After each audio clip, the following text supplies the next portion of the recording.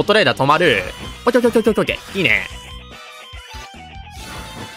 さあ、3回行動でジゴスパでさらに削ると、追い打ちの効果が乗るので、ワンチャンゴッドライダー落とせるんだよな。落ちるんじゃない？うん、無理だったけど、3回行動してくれてありがとう。全員落ちると。あんまり速攻を狙うパーティーじゃないんですが、2ターンキルとかもできましたね。どうもレジです。今日もモンスターズ3の対戦実況の方をやっていこうと思います。今回使うパーティーがこちら、はぐれメタルローズバトラーです。どういうパーティーか簡単に話していくと、まず、はぐれメタルの高い素早さ、爆発ブレイクを活かして盤面を荒らす。そして、ローズバトラーの素早さの低さを活かして、ラウンドの最後に光の波動やハッスルダンスを使って、はぐれメタルの状態異常を直したり、回復したりする構築となっています。タイトルにもある通り、ベビーパンサーに1回、S4 ザラヒパに2回負けた以外は全て勝利することができた、かなり強い構築となっているため、ぜひ最後のパーティー紹介まで見ていただけたらと思います。それでは対戦の方をどうぞ。はい、対戦よろしくお願いします。えーと、根に持つ2枚の S4 パか。うーん。これはちょっと判定勝ちに持ち込むしかないかなまあ、あの、ゴッドライダーが多分、回復なり蘇生なりを持ってるので、飛ばしきれないと思うんだよな、そっちまで。こっちのパワーだと。甘い木。まあ、ローズバトラーの方も寝るか。まあ仕方ないな。一旦待ちましょう。さすがにワンターンキルするほどのパワーはないと思うから。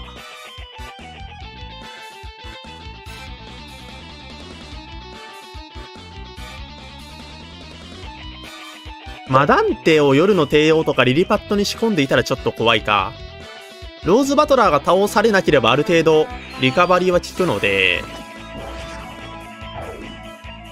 この辺は全然 OK。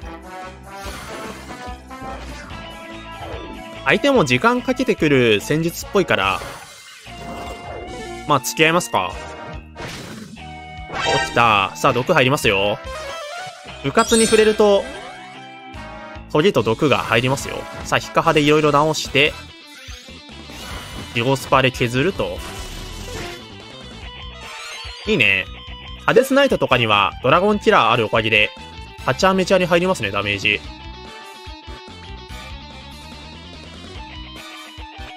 いては。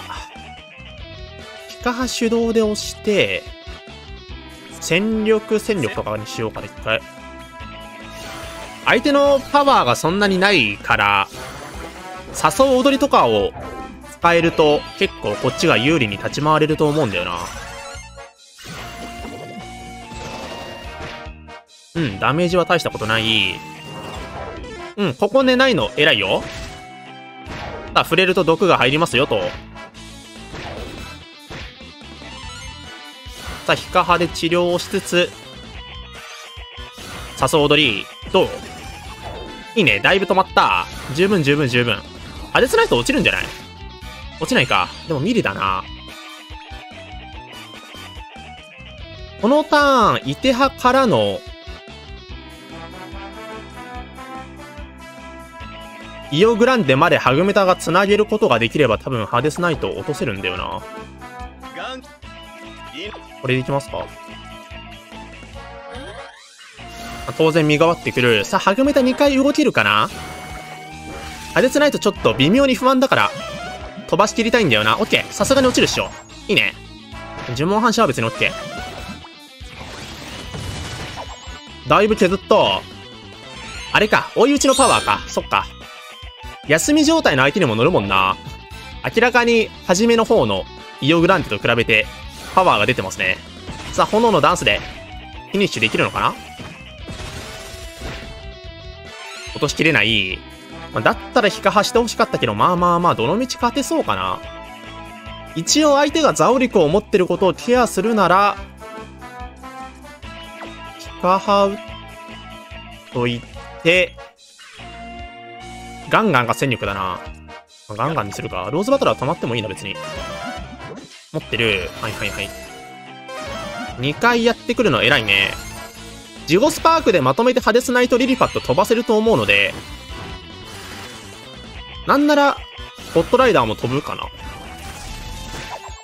飛ばない。まあまあまあ、ここ根に持つローズバトラーで踏むのは別に OK。でこのターン、あ、呪文反射か。まあ、いてはから入るか。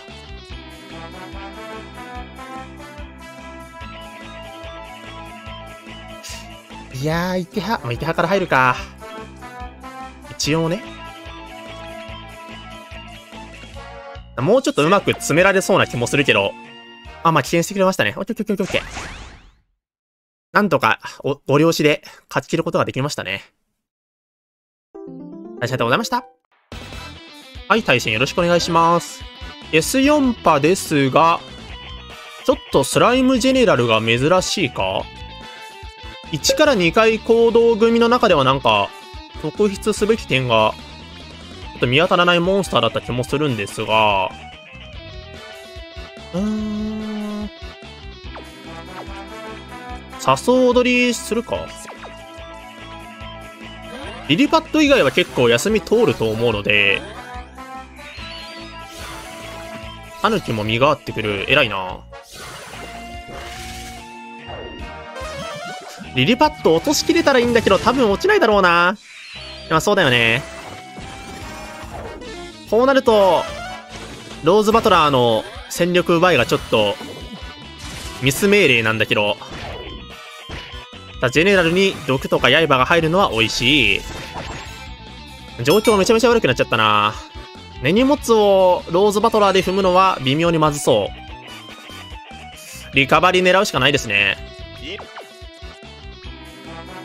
このターンでローズバトラーが落ちるとめちゃめちゃ厳しい。ハグルメタル一人でも判定勝ちできなくはないと思うけど、できれば耐えてほしいね。パワー大したことないなそんなもんか。根荷物踏んでいてこのダメージだからだいぶ優しいですね。しっかり耐えて、あとは光の波動なりハッスルなりでリカバリーできるでしょう。深浜でしたら偉いぞ。偉い。これが、2から3回行動の強みだよな。2から3回行動組は、まあ、結構ヒーラー向いてるよな。うーん、どうしよっかな。状況はこっちがすごい有利。相手のキラーマシンとかスライムジェネラルは、まあ、そんなにパワーないし、ザオリクとかもさっきやってこなかったならないと思うので、まあ、あとは回復しながらハグメタで攻めていけば、いずれ勝てるのではないでしょうか。スライムジェネラル落ち。うん。まあ、この眠りは引かはれ直せるし、ついでに攻撃してくれるかな。ワンチャン落としきれないか。まあ、もうちょっとだな。えー、ハグメタが動いて勝ちですね。5-3と。OK。ローズバトラーの3回行動がめちゃめちゃ偉かったな。耐久力の高さも見せられましたね。はい、ありがとうございました。はい、対戦よろしくお願いします。クジラ万人か。久しぶりに見たな。まあ、当然、凍てつく波動から入りましょうか。これでいっかな。インテを消すだけでだいぶ暴走率マシになるので、イオグランデ、ホエールロードの方には結構入るか。万人は爆発耐性結構ありそう。メラガイア1回で止まる。耐えられそうかな、まだ。ハッスルで持ち返せそうだね。いいね。ジゴスパー。万人にだいぶ入るぞ。345。うーん。ドラゴンキラー込みでこのダメージってことは、電撃耐性も持ってる感じか。相手の番人どうだろうハッスルダンスとかはなさそうかなだったら。だいぶ耐性厚めだな。うーん、クジラをちょっと落としきらないと怖いところがありますね。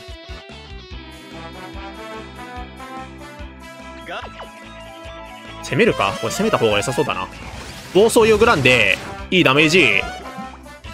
クジラ落ちたら、反対なんだけど、落ちた。これはね、ハグメタの暴走が偉いです。暴走メラガイア。痛い。山彦。まあ、仕方ないかな、ローズバトラー落ちるのは。ただ、あのー、ホエールロードの HP があと、残りわずかってことは分かってるから、ここハグメタの行動で、クジラをまた落とせば、だいぶ有利になるかな。万人のジゴスパはこっち全然入らないので、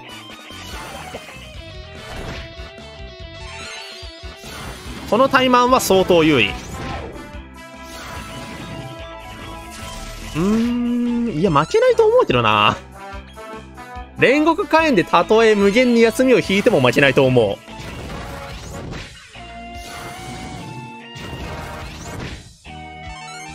相手の自動回復量がただ大きいから、ちょっと削り切るのは至難かな ?MP が持たないな、こっちの。えー、まっとうとうに申し訳ないんですが、防御で。あの、アタックしても絶対、その MP が持たないんだよな、こっち。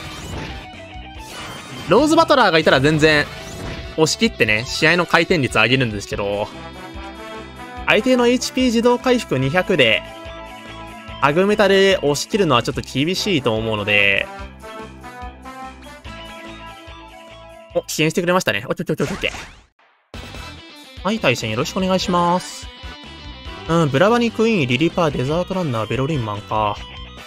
まあ、外役絡めた、即死パかな確か、ブラマニクイーンは、即死ブレイクを持っていたような気がするので、うん、ハグメタが1ターン目から、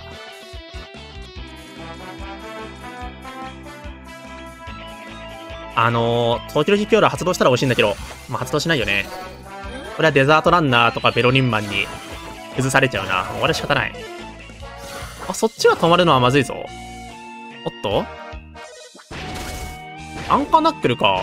即死ブレイクないって君。L サイズの方だったかなまあまあまあ、殴ってくるなら好都合だな。もう毒と刃でゴリゴリに削っていけるんで、即死じゃないならあんまり焦る必要ないかな。うん。どっかでローズバトラーが動けるターン作って、光の波動で治療しながら、ハグメタの攻撃を通していけばいいかな。使い切ると、はい。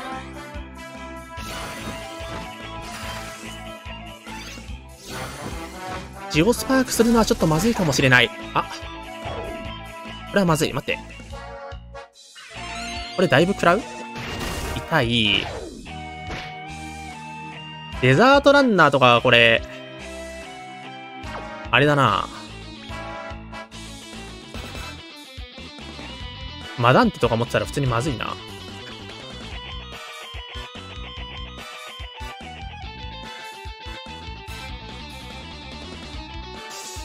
あー。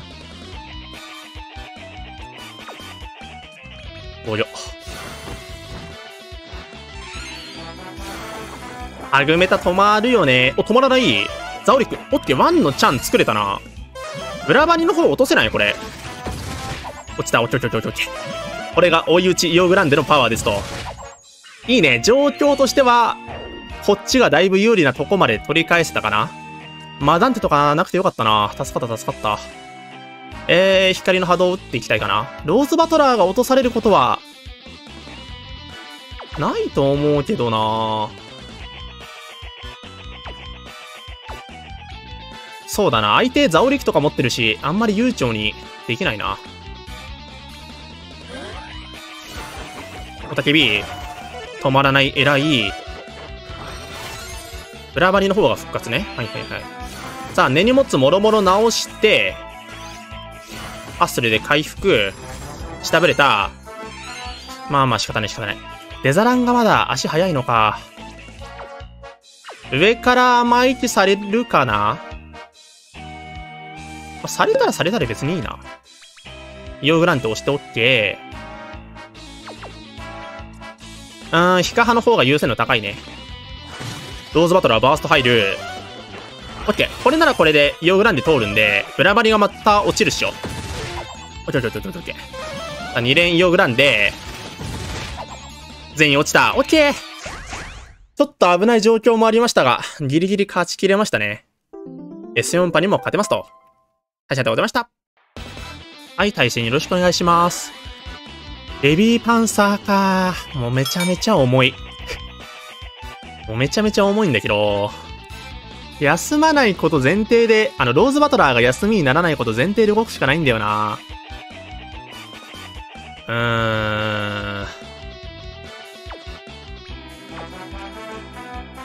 あー、光の波動かな。リリパー落としきれたらめちゃめちゃ偉いんだけど。さすがに無理。はい、ローズバトラー止まる。ただまあまあ、バイキルドとかはしてこない感じか。アグメタは動けない。アグレメタルが動ける状況を作るしかないんだよな、こうなると。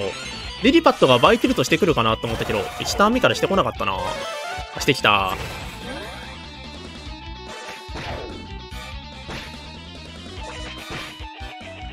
2回コードを、まあ、ベビーパンサーの方も下振れてる方なんだけど、125あるからな。なんとか一回かいくぐってくんないかな。どっかでハッスルダンス通さないと厳しいんだけど、これ。ハグメタはまあいいんだけど、ローズバトラーが休みにならない時間を作んないとこれ、勝てないぞ。まあ、休みサイレントでなんかまた強くなったみたいな話も聞きますからね。125持っててこのペースで止まるのは正直きつい。はい。止まったオッケーオッケー。さあ、ヒカハでハグメタが行動できるようにはなった。さあ、どんぐらい回復できる？いいね。3回行動まで繋げるの偉い。さあ、ほぼほぼマックスまでいけたね。いやー、相手のベビーパンサーの行動回数が気持ち抑えめなのが助かったな。アグレメタルが生存している意味、なくはないのか。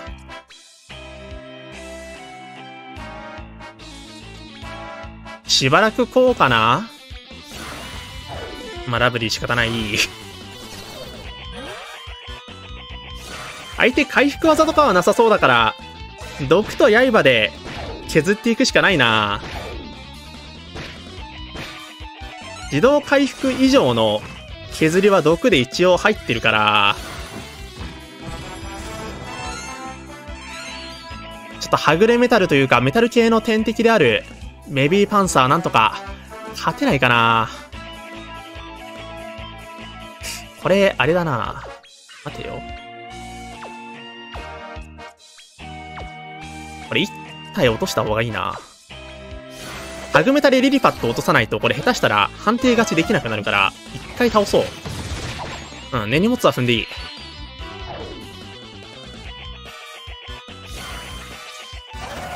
なんならこのターンヒカハが通ればかなり美味しいから、まあ、通らない。アグメタ落ちるな、これ。ラストサンドで耐えたけど落ちるな。うーん、このターン、ヒカハできなかったのは厳しそうだな。はぐめたわせてよ。無理だ。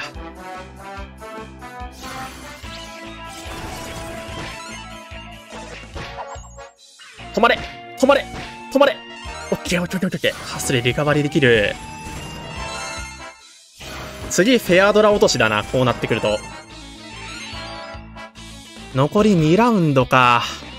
3ラウンドか。うー。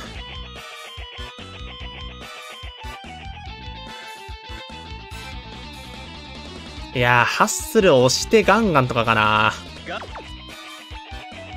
もろもろうまくいくことを一回祈るしかないな。バースト入る。避けろ。休まなければだいぶでかいぞ、このターン。休まないオッケーオッケーオッケーオッケー。ハッスル全開からのプラス2回の攻撃は確定してる。ジョスパ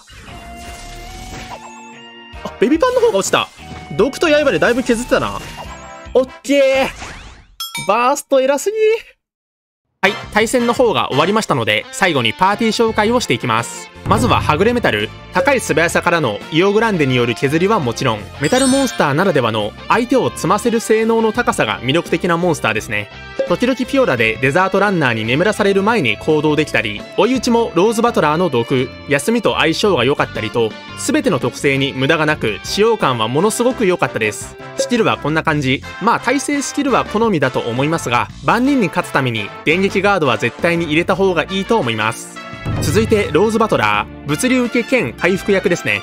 他のヒーラーと比べると、刃のボディと独特ボディのおかげで、回復しているだけで相手の物理アタッカーにどんどん負荷をかけていける点が魅力ですね。これのおかげで、アルミラージやベビーパンサーに勝てる可能性が生まれていると言っても過言ではないです。他にもドラゴンキラーがあるため手が空いた時の攻撃で万人やハデスナイトなど対戦環境に多いドラゴン系のモンスターに致命傷を与えることができたりと回復型ローズバトラーにしかできないことはたくさんあるなと感じました。スキルはこんな感じ。シンプルに神様プラス耐性スキル2種類となっています。